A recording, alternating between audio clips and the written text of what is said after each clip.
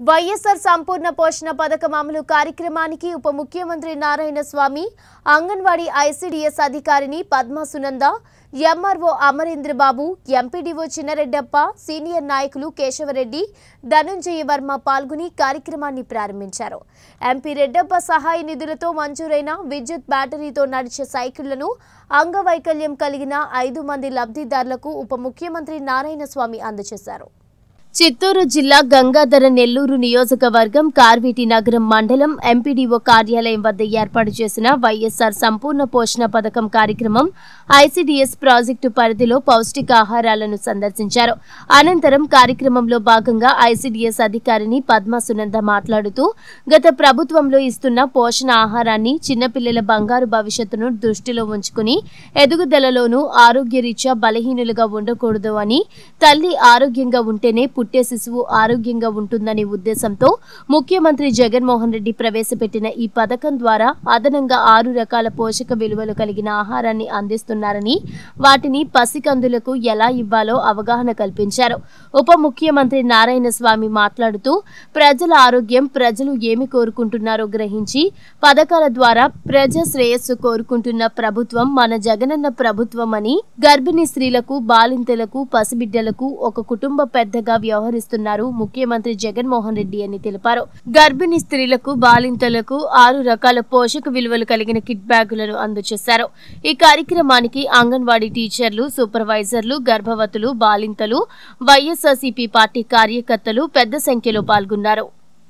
అదే రాగి పిండి ఒక కేజీ అటుకులు ఒక కేజీ బెల్లము కాలు కేజీ ఖర్జూరాలు ఎండు ఖర్జూరాలు కాలు కేజీ అదేవిధంగా వేరుశనగ చిక్కీలు కాలు కేజీ మొత్తం ఆరు ఐటమ్స్ ఇంత మునుపు లేవు. ఈ ఐటమ్స్ మొత్తము కూడా ఇప్పుడు మన ముఖ్యమంత్రి వారు దాన్ని మన గర్భవతుల బాధితుల కోసము అందించడం జరిగింది.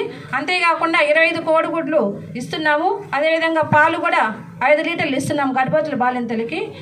అదేవిధంగా ఆరు నెలల నుంచి మూడు సంవత్సరాల పిల్లలకి బాలామృతం అనే ఒక ప్యాకెట్ రెండున్నర కేజీ బరువు ఉంటుంది. ఆ ప్యాకెట్ ఎనిమిది కోడిగుడ్లు ఇచ్చేవాళ్ళము.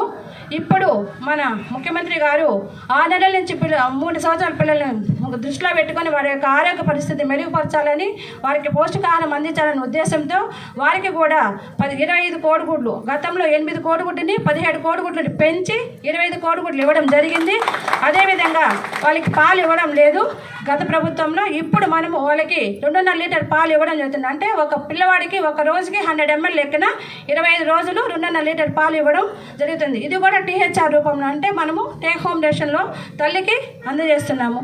అదే అన్నగా మీ బిడ్డలకి మేనమామగా మామగా తల్లులు గర్భిణీ స్త్రీలు ఎలాంటి ఇబ్బంది లేకుండా వాళ్ళకి ఏ విధంగా ఈ పౌష్టికాహారం ఇవ్వాలా అంటే పోషకాహారం ఏ విధంగా ఇవ్వాలా వాళ్ళకి ఎలాంటి ఇబ్బంది లేకుండా చేయాలనే దృక్పథంతోనే ఒక ఆరు ఏడు ఐటమ్స్ కూడా కలిపి ఏడు కోట్ల చిల్లర వరకు ఖర్చు పెట్టే కార్యక్రమాలు తీసుకొని వచ్చాడు ఈరోజు ఎస్సీ ఎస్టీల బీసీల అన్ని జాతులకి తీసుకొని వచ్చి పెట్టడం జరిగింది.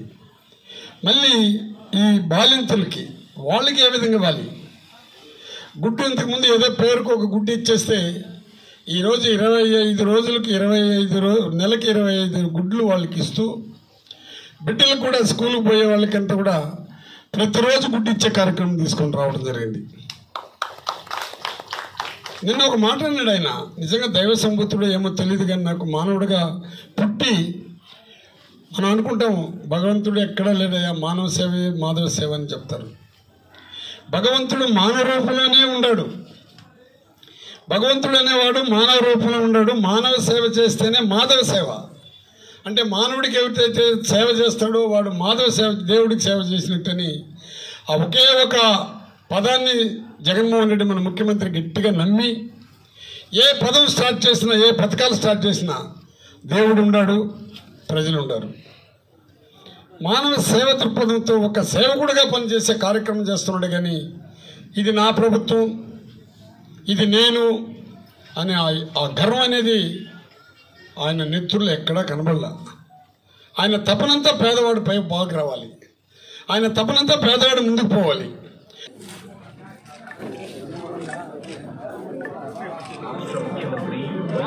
జగన్మోహన్ రెడ్డి ఎన్నికల ప్రచారంలో ఇచ్చిన వాగ్దానం